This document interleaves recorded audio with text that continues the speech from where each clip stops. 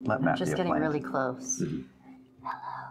Um, I was just actually seeing if um you could open up your body. Just like a door. Are you there? Are you can I talk to you? Hello? Hey. hey, Fearne. Oh hi. I mean, people make doors out of trees. We don't do it ourselves, but you figure it out, Great. Wow, you're so just relaxed. yeah, you too. Well, sometimes. How long how long how long have you been here? Long time. A long time.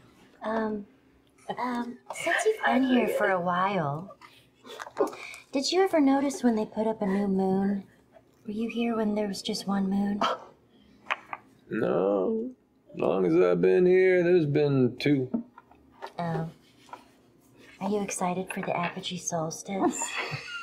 I mean, I guess a little. It's interesting and makes me feel all tingly. No. That's pretty nice.